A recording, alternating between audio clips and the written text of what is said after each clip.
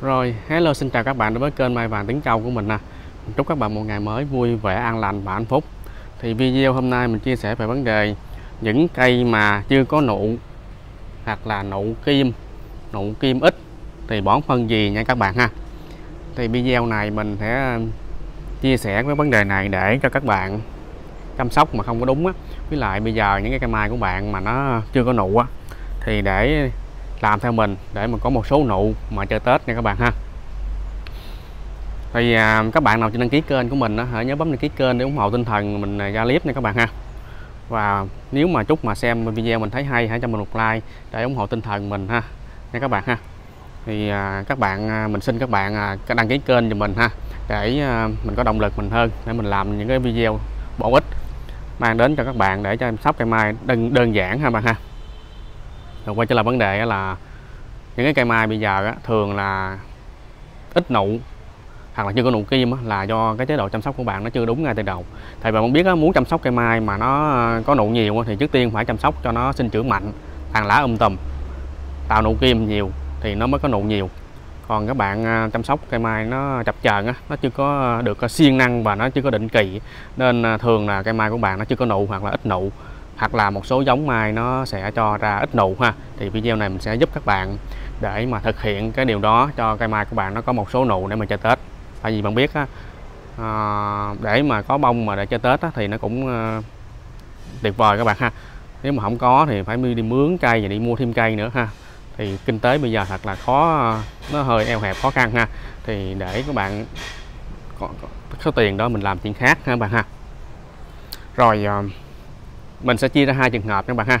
Trường hợp thứ nhất là cái cây mai của bạn mà nó chưa có nụ mình gom lại chung nha.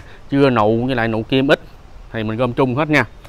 Trường hợp cây mai của bạn mà chưa có nụ hoặc nụ kim ít á à, mà lá nó còn xanh trước ha. Nó lá còn xanh trước.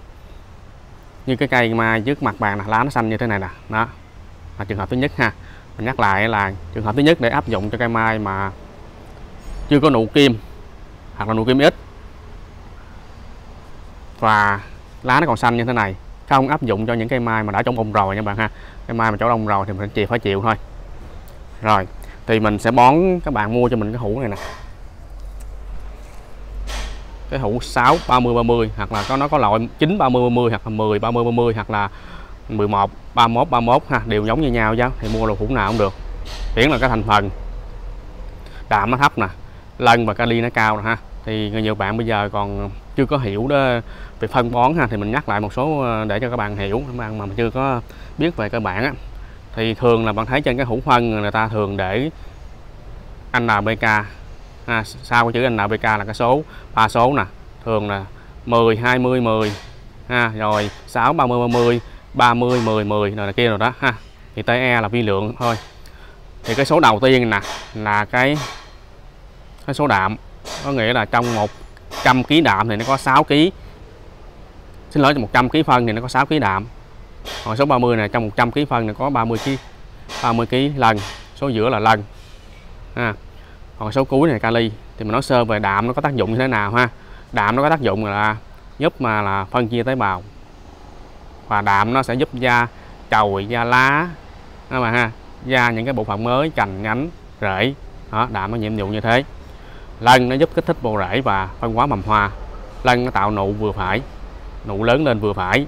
Xin lỗi lân nó tạo nó làm cho nụ lớn lên vừa phải nha bạn ha. Kali thì nó giúp cho cây mình nó lưu dẫn nước được tốt hơn giúp mập cành mọc cốt và giảm hấp thu đạm. Từ đó lá nó sẽ mau già.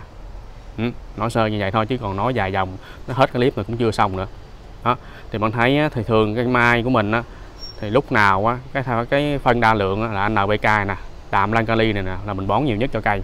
Còn ở trung lượng á, như là magie à, lưu quỳnh rồi à, canxi và silic á, thì những cái trung lượng thì xài ít thôi xài khoảng 5 phần trăm đổ lợi thôi. Và cái TE này là viết tắt cái chữ vi lượng ha. Thì vi lượng gồm có những cái à, nguyên tố như là đồng sắt kẽm à, mangan bo molybden đó. À, vân vân và vân vân. Nó là những cái vi lượng. Thì vi lượng xài với cái lượng rất là ít các bạn ha. Khoảng là mấy mấy trăm đến một ngàn phần triệu thôi. Nó rất là thấp. Thì bây giờ có nhiều bạn hỏi là vi lượng bổ sung cho cây mai lúc này được hay không? Thì mình được thôi bạn ha? Vi lượng bạn bổ sung thì nó tốt hết các bộ phận của cây. Chẳng những tốt nụ, và nó tốt rễ, tốt lá, và nó tốt cho cái sự ra bông sau này luôn đó các bạn ha. Nhất là nguyên tố bo nó, nó giúp cho cây của bạn nó sẽ chống rụng hoa và hoa nó sẽ đẹp hơn ngoài nguyên tố kali. Ừ, thì quay trở lại nên bạn mua mua cho mình cái hũ này ha. Cái hũ này nó không có nhiêu tiền bạn 25 đến 30 ngàn gì nè 20 đến 25 ngàn gì à. Thì cái hũ này của hãng phân Ramo phân bón lá.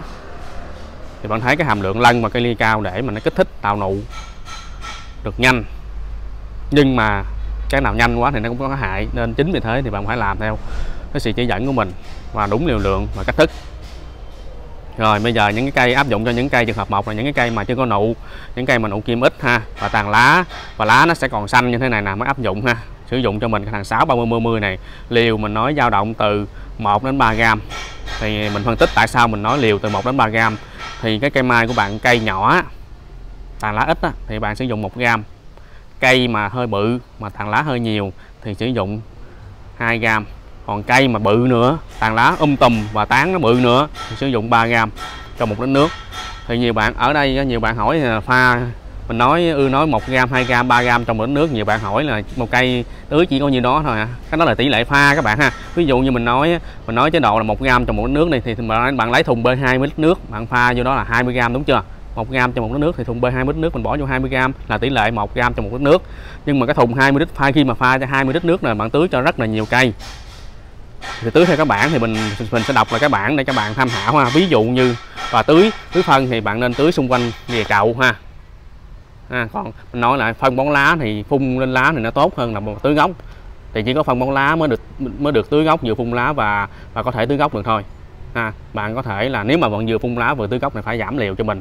Ví dụ như liều phun lá bạn sử dụng 2 gram trong cái nước đi nhưng mà bạn vừa phun lá bạn vừa tưới gốc thì bạn pha một gram rưỡi thôi ha bạn sụp cái liều lại. Nha bạn lưu ý điều đó cho mình ha. Tại bạn bạn cho nó ăn ha bằng hai con đường. Con đường đường qua lá và con đường qua rễ thì bạn phải giảm liều nha bạn ha. Lưu ý điều đó cho mình.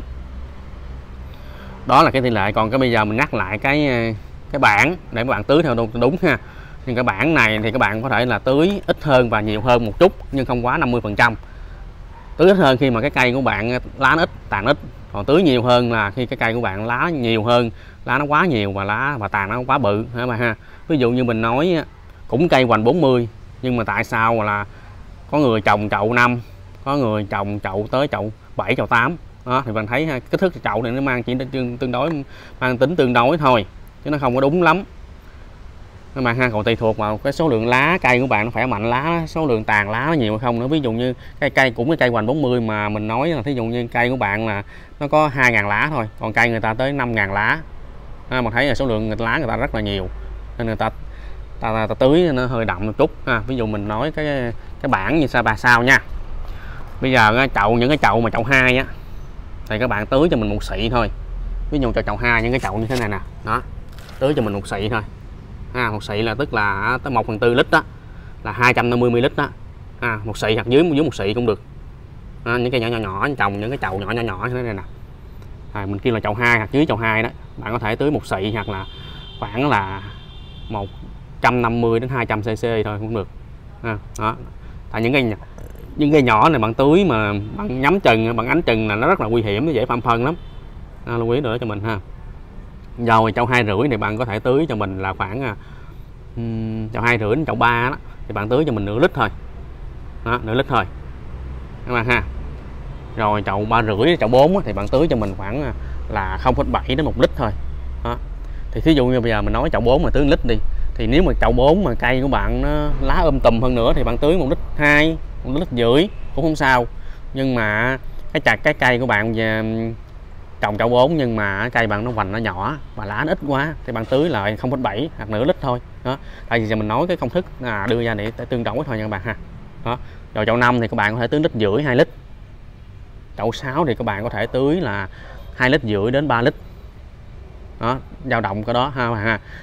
Rồi chậu 7 bạn có thể tưới là hả 3 lít rưỡi đến 4 lít. Các bạn ha. Chậu 8 thì bạn có thể là tưới 5 lít 6 lít. Chậu 1 mét thì bạn có thể tưới là hả 7 lít 8 lít.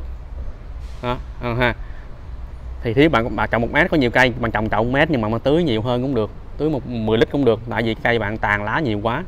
Nó, nó không sao nó, cái công thức công thức mình đưa ra là ở cái ngưỡng mà nó nó nó tương đối thôi các bạn ha.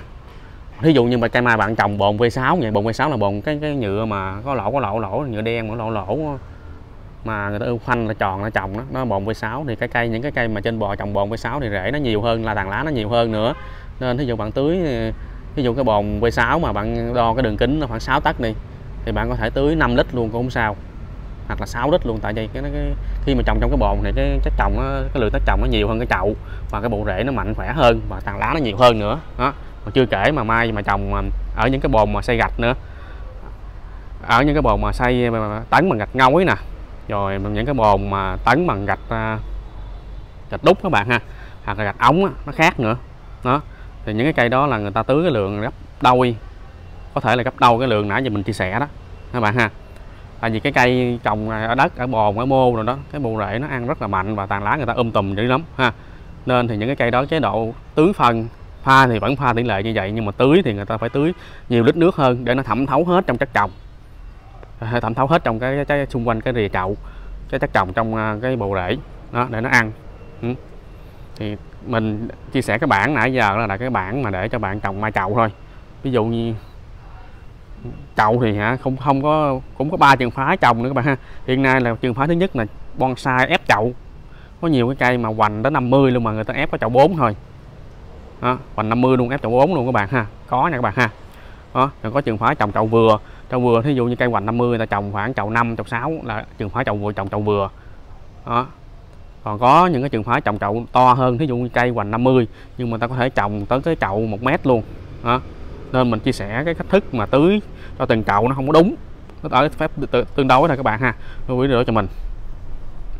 Thì tại sao là hả, khi mà mà trồng chậu lớn thì cái chất trồng nó nhiều thì mình phải tưới hơi nhiều một chút. Tại vì mình tưới ít quá thì nó không thẩm thấu hết trong chất trồng. Phải tưới thêm nhiều một chút. Ví dụ như mình nói cây hoành 40 đi trồng chậu 6 thì tưới có 3 lít nước đúng không? Hai lít rưỡi thôi hai lít rưỡi đến 3 lít thôi. Nhưng mà ta trồng chậu 1 mét thì ta phải tưới khoảng 5 lít. 6 lít hoặc là 7 lít ha, nó mới thẩm thấu được hết trong chất trồng đó lưu ý rồi cho mình ha. Rồi đó là cái trường hợp thứ nhất ha. À, các bạn sử dụng cho mình cái thằng 6 30 30 này liều dao động từ 1 đến 3 gram nha. Nãy giờ mình phân tích đó, tại sao là sử dụng từ có thể là pha 1 gram trong một nước có thể pha là 2 gram trong một nước có thể là ba pha 3 gram trong một lít nước tùy theo cái cây của bạn ha. Trồng trậu như thế nào ha?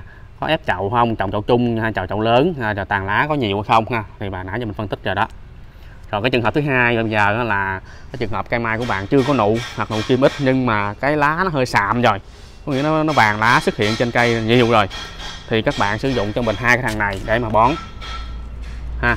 Thì liều mình nói là các bạn là chỉ xài là liều từ 1 đến một gram rưỡi cho một lít nước thằng à, sáu 6 30 10 thôi. Và bằng bổ sung thêm mình cho mình cái phần phân DB này nè.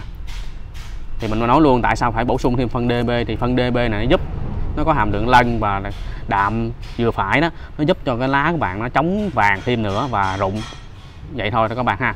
Thì kết hợp hai thằng này nha. Đối với trường hợp thứ hai là trường hợp cây mai của bạn chưa có nụ, ít nụ, nhưng mà lá nó hơi sạm và nó không được xanh tươi như cái trường hợp thứ nhất. Thì các bạn sử dụng cho mình cái cái hũ này. Có thể phun là tưới, liều là 1 gram đến một gram rưỡi cho một lít nước thôi. Và kết hợp với thằng thằng DB này liều cũng là từ 1 gram đến một gram rưỡi cho một lít nước thôi.